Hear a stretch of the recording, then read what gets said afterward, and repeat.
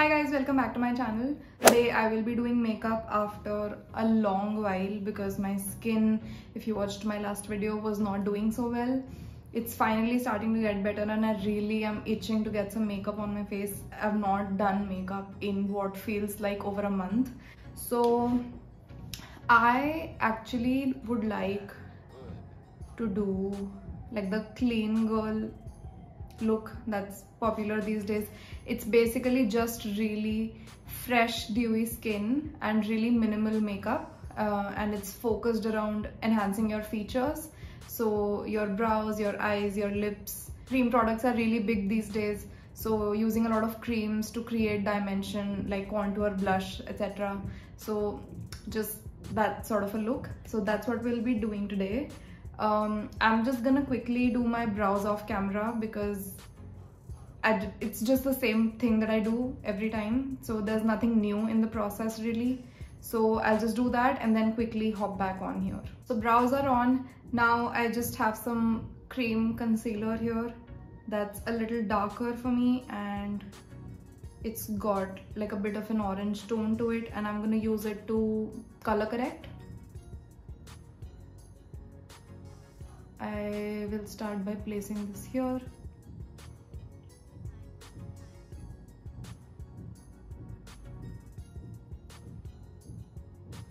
I love how like seamlessly it just blends into the skin. This is a Kryolan Derma color thingy.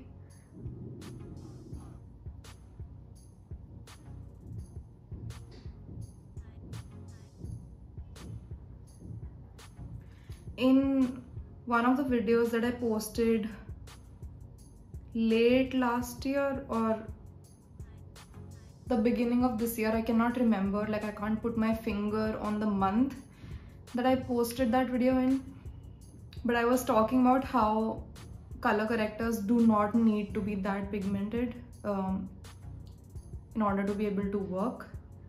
Like orange correctors are so orange that it's hard to like control how much product you're placing because there's just too much pigment and you do not need it. So I still have a bit of the corrector product here uh, and I'm not gonna take it away just yet. I'm gonna keep this on here while I apply my foundation. So if I happen to pick up any corrector underneath um, while applying my foundation I will just take some more and work from the back of my hand still. And for foundation I'm using the Bobbi Brown Skin Longwear Weightless Foundation. Uh, my shade is natural N052 but it doesn't match me. It's a little bit lighter uh, than I would like for my skin. So I just mix in something to make sure that it matches. So I'm just gonna place this here around my nose and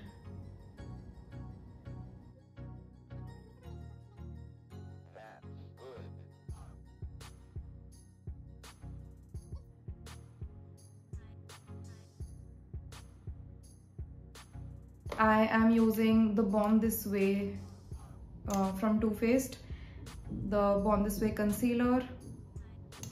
The shade is called Natural Beige. So if you watched my videos in the past six months, um, I've talked a lot about how I like to place my concealer and then let it sit. It just ups your coverage and I find personally that the concealer sits beautifully underneath. I still have a bit of concealer left but again I really like to have the product if there is any left. I'll keep the product whatever is left till the end of my makeup application. Um, that way if I need more at the end I do not have to take out more. I'm using the Sugar Too Good To Be True cream eyeshadows This is the shade Chips and Salsa. I love the name. I'm just using a synthetic brush to blend this out.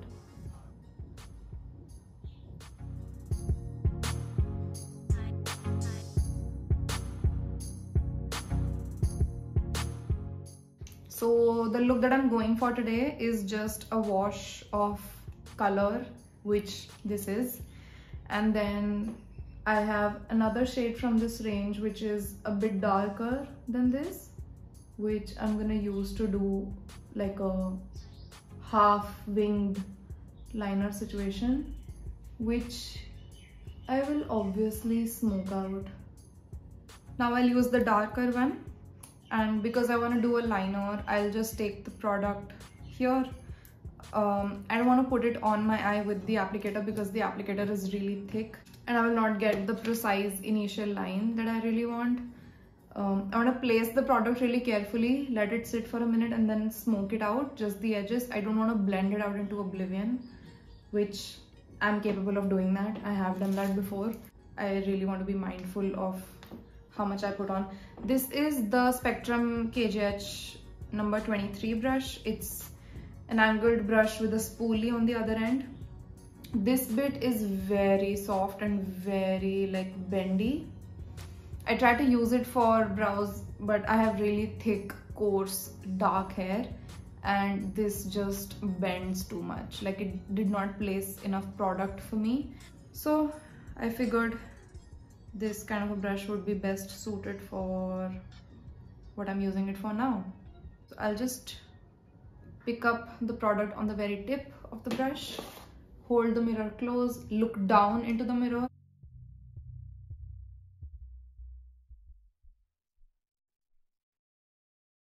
I'll leave it at this much right now um, because I know once I start blending this out, it's gonna move around a bit so let's just leave it at that.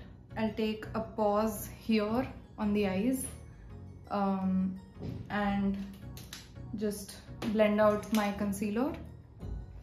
I'm using an eyeshadow blending brush and I'm gonna pick up some of that product that I had at the back of my hand. Alright, that blended seamlessly. You see what I mean about the coverage? I mean, this concealer definitely has amazing coverage, but doing this really, really makes a difference.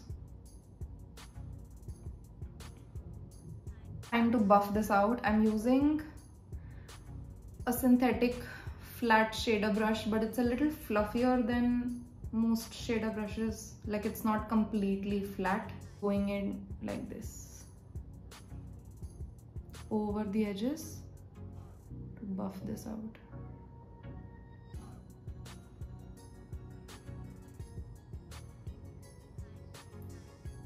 And that's all I was going for. So you can see the wing, you can see some definition on the outer corner, but you cannot see a definite line.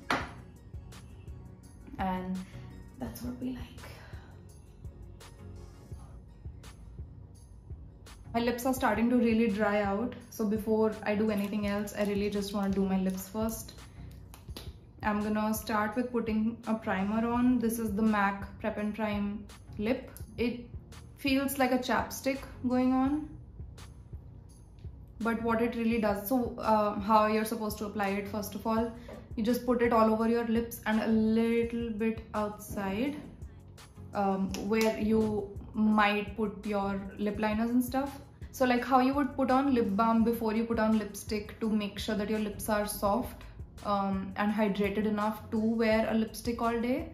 I would take the lip balm off before applying the lipstick. But I feel like if you at any point forgot to put on your lip balm and your lips are a little uh, dry or you feel like like a matte lipstick is gonna look really cr crusty on your lips this is a great product because it makes sure that your lips kind of stay hydrated. The function of this product is not that of a lip balm but it does provide some relief to any dryness that you might be facing. And also what i find is because it's supposed to be a primer it really smoothens out the surface of your lips.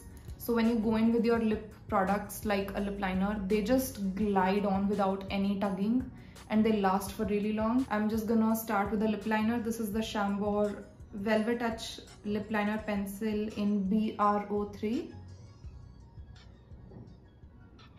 You see how easily the color starts to glide?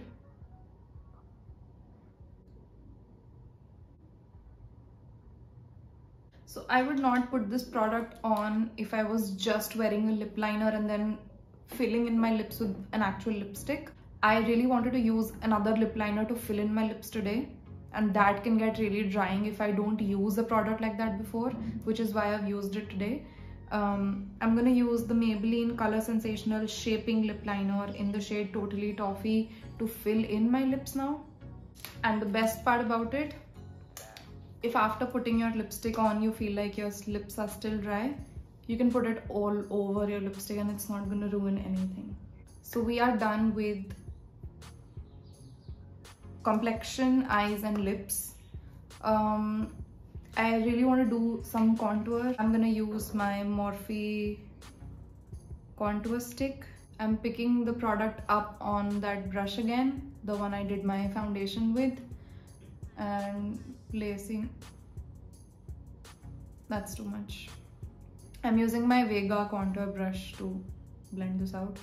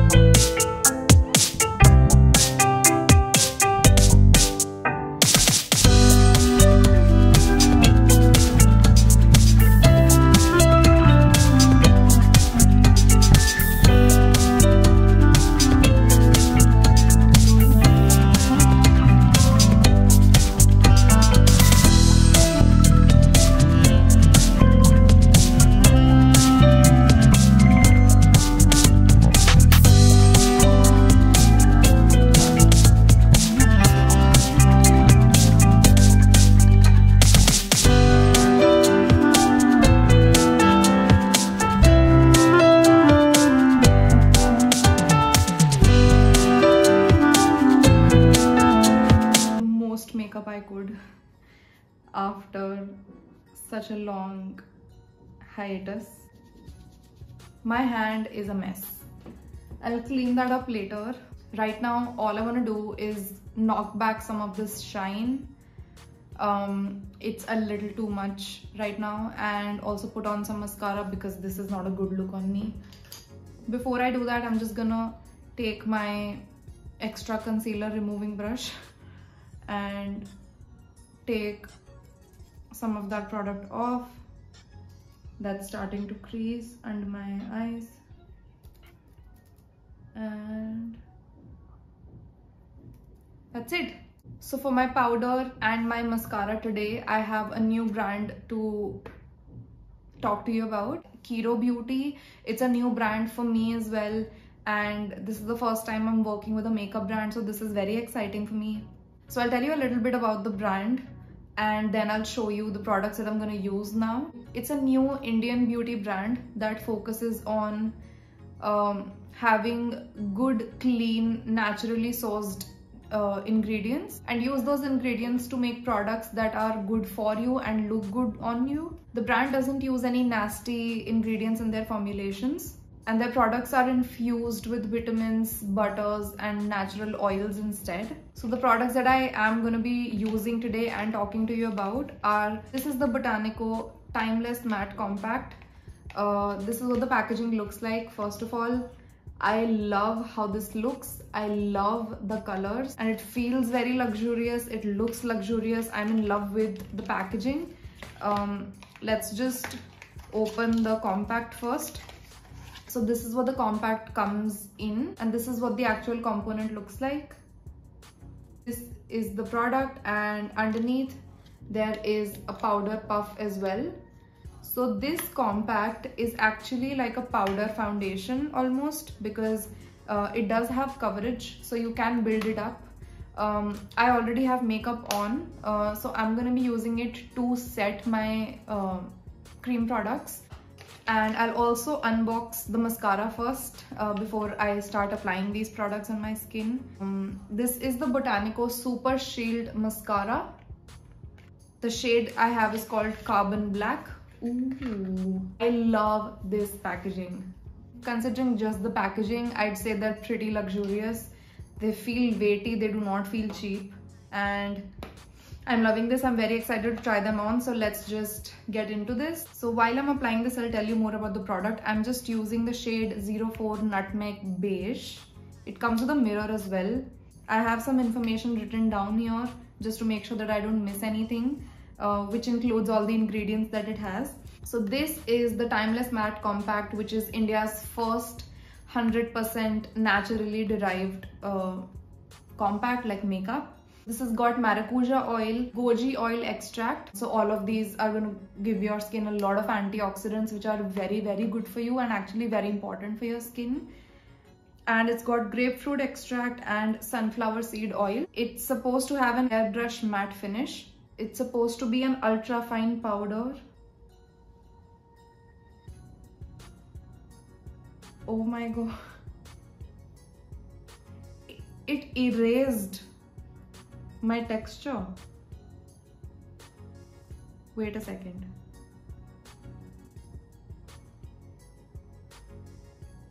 Are you seeing this? I really hope it comes across exactly like that on camera. I'm gonna put some under my eyes as well.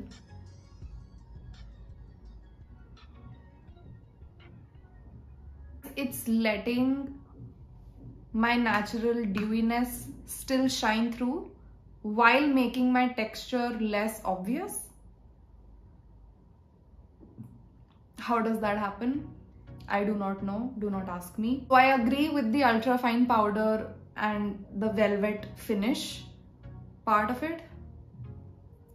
Definitely agree. It feels amazing on the skin feels very lightweight. I do not feel like I put on too much while I did go in with my brush here. Picked up some more and I'm gonna go around my nose because I get a lot of shine in those areas. Are you seeing this? It's erasing my pores. All right. Um, it's got buildable coverage, which I also agree with. I tend to put less product in this general bit of my face and it's making my skin look even in those areas and I am definitely enjoying that. And it's also supposed to be oil controlling. I'm honestly telling you, I have a tower of powders right where my makeup sits I can see five, six different powders that I use interchangeably. None of them make it look like this. So that's saying something. And of course, there's more claims like blurring. I agree with that. Pore minimizing. I agree with that.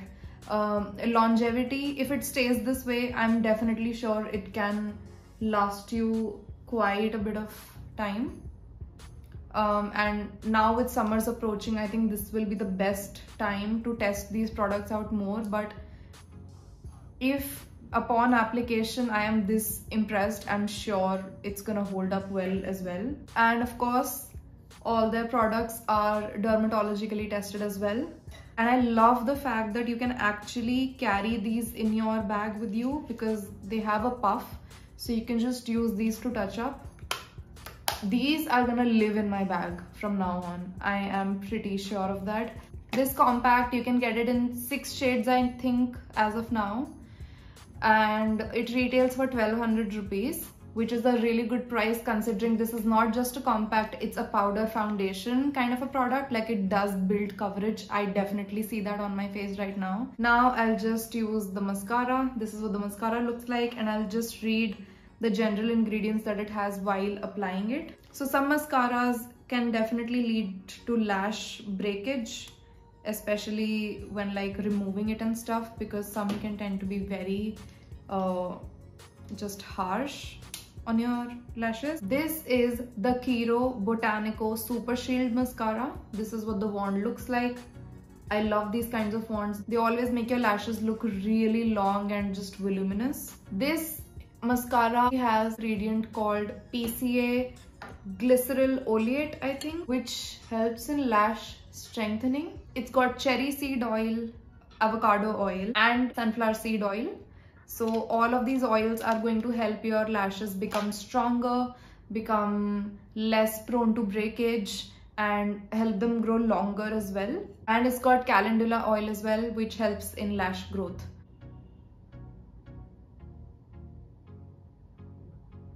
It's making my lashes look thicker at the root and really fanning them out at the tips which is exactly the kind of stuff I like with mascaras. Make my lashes look thicker and separated and I'm sold and that's exactly what this is doing right now for me. I am building this up and building this up and building this up and it refuses to clump which is amazing because not a lot of mascaras do that especially wands like these. Like if you use them a certain way they can definitely clump up but this just refuses to do so. Quickly gonna take this on my lower lashes as well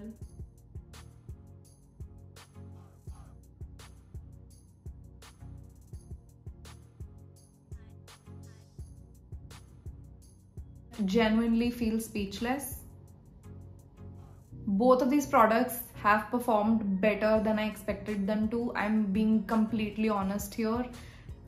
I did not expect them to perform this well. The compact has made my skin look velvety. It's given a little bit more coverage. It's made my skin look very just poreless and kind of matte in areas that I wanted to look but not flat. And we come to the mascara.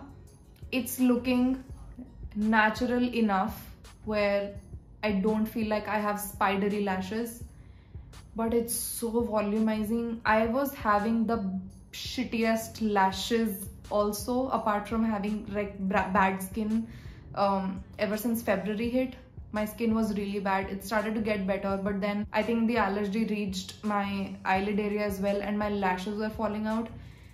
If my lashes can look like this at a really bad stage with this mascara I wonder what it will do when I actually have good lashes, which I think this will help in because it's got so many oils that actually nourish your lashes and make them grow longer and stronger and prevent breakage and prevents them from falling out. Like I'm really excited about these products and I'm really really excited to have Kiro sponsored this bit of the video because they were a newer brand to me as well but I genuinely am not lying when I say these products have really won my heart because I did not expect them to perform this well in the first try. So it's got 99% naturally derived ingredients, lash lengthening, curling and volumizing.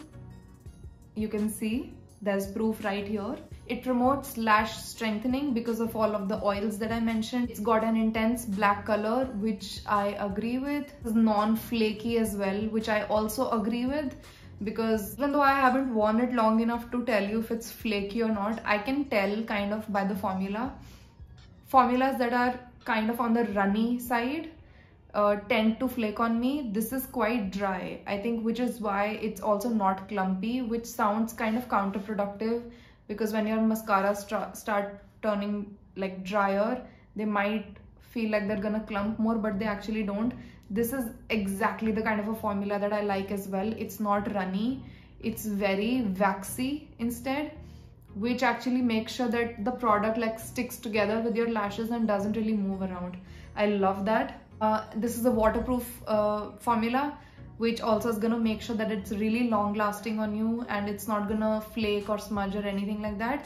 And of course it's an eye product so it's ophthalmologically tested. Forgot to mention the mascara retails for 950 rupees uh, and the compact is for 1200 i think i mentioned that already. I'm really happy that i chose to work with kiro because if this is what their products are like I am in for a treat. So if you're interested in buying these products, I will have links to both of them in my description box and some other links as well and some info about the brand if you want. Uh, you can check them out. And I'm not sure if I've missed uh, pointing out any information but if I have I will definitely make sure to include everything in the description so please please please check the description out before you X out of this video. That is it for me. Thank you so much for watching. Please subscribe if you haven't already and I will see you in my next video. Bye